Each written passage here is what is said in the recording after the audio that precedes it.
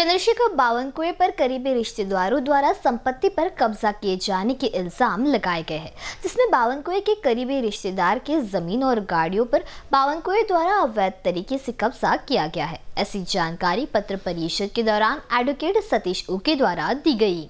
चंद्रशेखर बावनकुए पर करीबी रिश्तेदार द्वारा संपत्ति हड़पने के इल्ज़ाम लगाए गए हैं, जिसमें बावनकुए के करीबी रिश्तेदार की ज़मीन, गाड़ियों को बावनकुए ने अवैध तरीके से कब्जा किया है। ऐसी जानकारी पत्र परिषद के दौरान एडवोकेट सतीश उके द्वारा दी गई।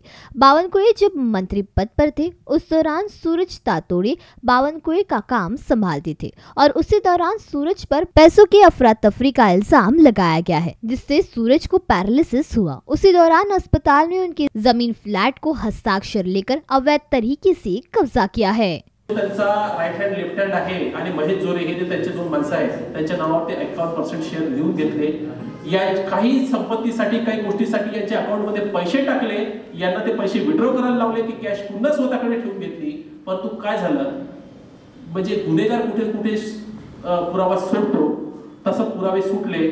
काही सेलडीडमध्ये त्यांनी आरटीजीएसच्या सोबत सोबत चेक सुद्धा लिहिले. ते चेक आजपर्यंत कधीही यांच्या अकाउंटमध्ये आले नाही ते विड्रॉ झाले नाही पण तो आरटीजीएसचे पैसे यांच्याकडनं काढून त्यांनी घेतले.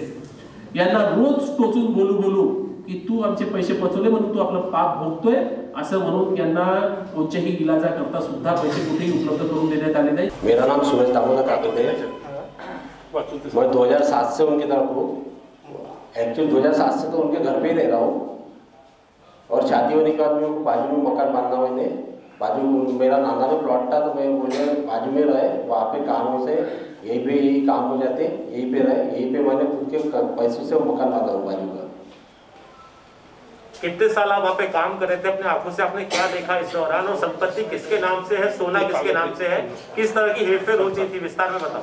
पत्र परिषद के दौरान पीड़ित सूरज तातोड़े ने न्याय की गुहार लगाई है। कैमरा पर्सन राजकुमार मोहड़ के साथ Kshitija Deshmukh B C N news Nagpur.